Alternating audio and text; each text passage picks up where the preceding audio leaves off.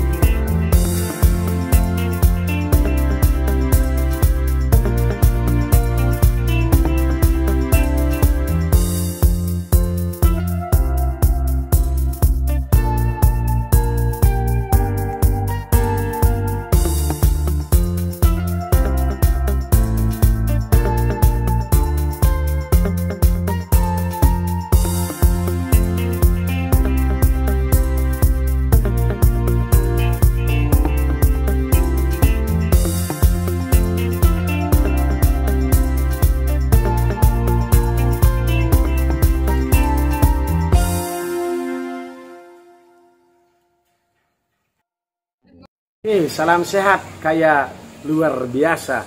Selamat pagi, pemirsa di mana pun Anda berada. Marilah kita terus belajar. Belajarlah bagaimana kita mengikuti apa kata hati kita, bukan apa kata orang lain, para sahabat.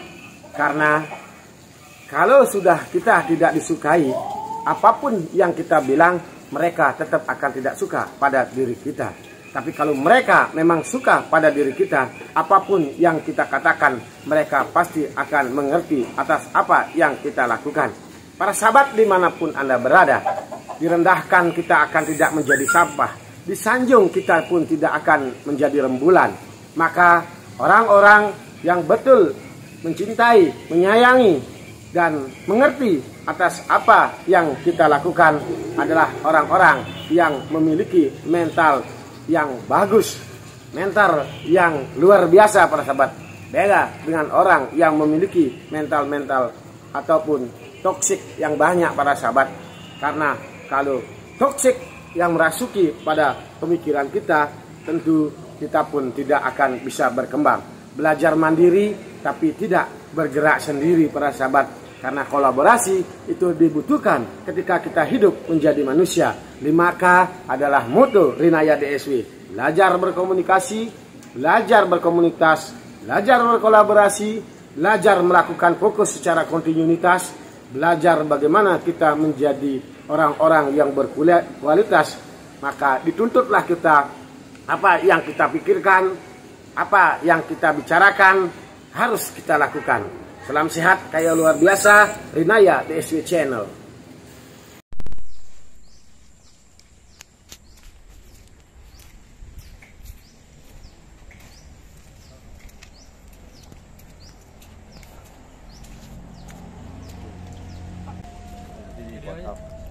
Foto.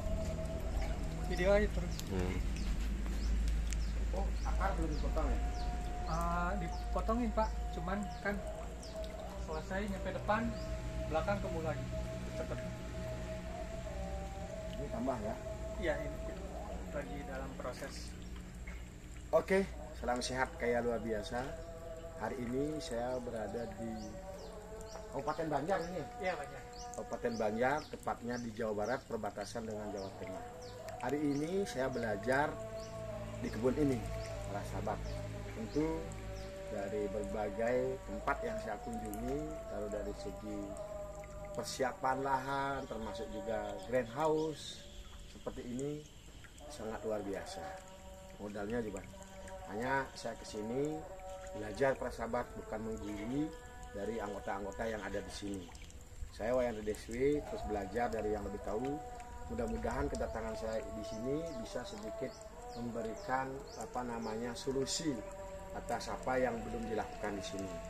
Karena yang lebih tahu adalah tentu perawat yang di sini. Nah, dari pengamatan saya sementara eh, cenderung kalau menurut saya eh, kalau dibandingkan dengan tanaman kami di Bali tentu sulur belum begitu besar para sahabat. Sulur eh, belum begitu besar mudah-mudahan yang di belakang nanti ada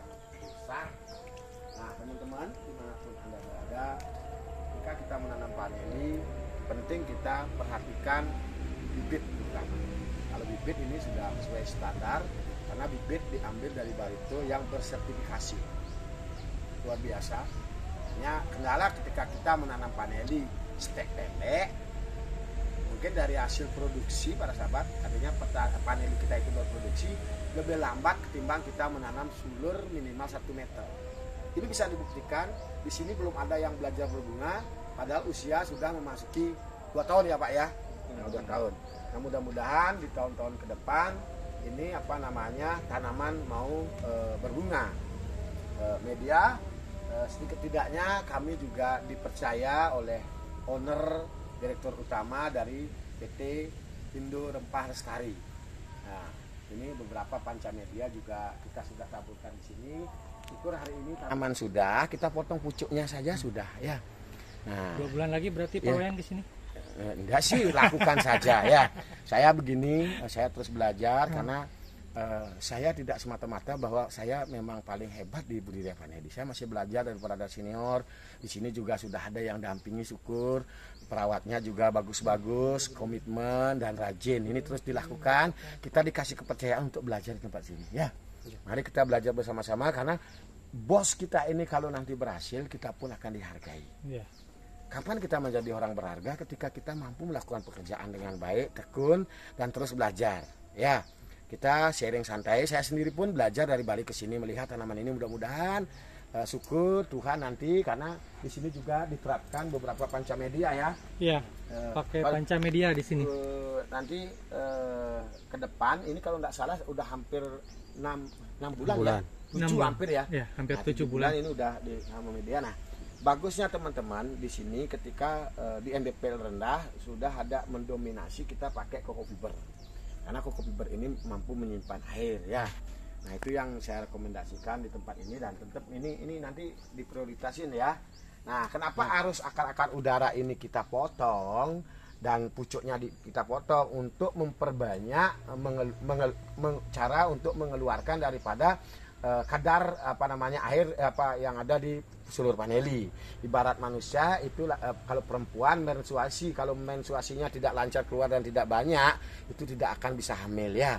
Paneli juga seperti itu, mudah-mudahan nanti bisa diterima ya.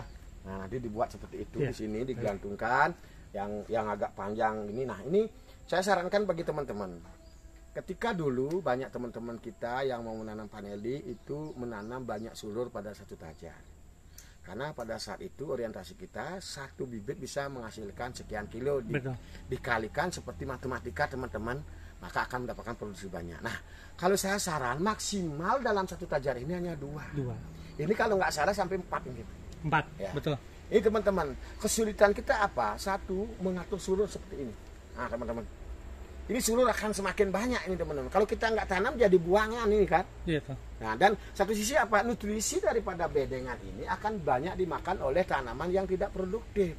Nah, kalau saja dua, mungkin kita hanya dalam enam bulan kita hanya tambah media berapa, tapi maksimal dia dapatkan dan sulur juga panjang dan cepat akan berbunga. Itu ya. Saya sarankan teman-teman jangan terlalu ambisi untuk dalam satu tajar apa jaraknya sudah eh, misalnya ini hampir ini satu setengah meter ya. Ada satu Nah, setengah. satu setengah meter udah bagus sebenarnya. Nah kalau ini saja dua. Teman-teman di mana pun anda berada, bersyukur hari ini saya berkunjung ke kebun ini beberapa tanaman dan sampai saat ini kalau menurut saya tidak ada pusarium di sini teman. Hanya saya beritahu kepada teman-teman yang mau investasi tanaman paneli, perhatikan sirkulasi udara dan sinar matahari. Kenapa demikian teman-teman?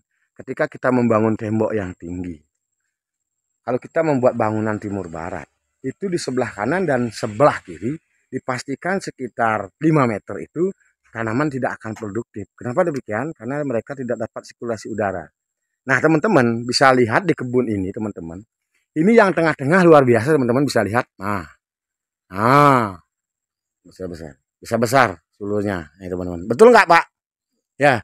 Nah, terus nanti kita ke sana, kecil lagi, teman-teman. Kenapa? Di sana kekurangan sirkulasi udara. Ini tanaman sebanyak 6000 teman-teman. Di sini steril, betul-betul luar biasa. Kalau merokok jangan kalian ke sini. Ini nanti mau membuat produk organik. Nah, teman-teman bisa dibuktikan. Ini ini masih di sini. Nah, ini masih di sini agak besar-besar ya. Nanti kalau udah ke sini ke ujung teman-teman bisa lihat. bisa lihat teman-teman selain kuning ya. Nah, betul. Nah, teman-teman bisa buktikan. Ini. Nah, pertumbuhannya pun nggak maksimal, teman-teman. Lebih ka sama kacaunya di barat eh, di, di, di mana namanya itu? Nah, teman-teman. Nah, teman-teman. Ini bukti. Yang mana?